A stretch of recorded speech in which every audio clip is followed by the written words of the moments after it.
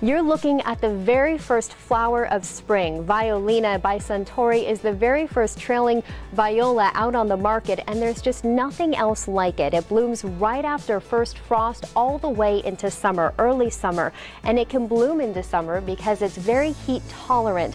It blooms continuously with real flower power. It looks great in hanging baskets and window boxes, and it comes in seven colors. Also looks great in combinations like you can see it featured featured right here. It's definitely a must for your garden and you need to take it home before the first day of spring.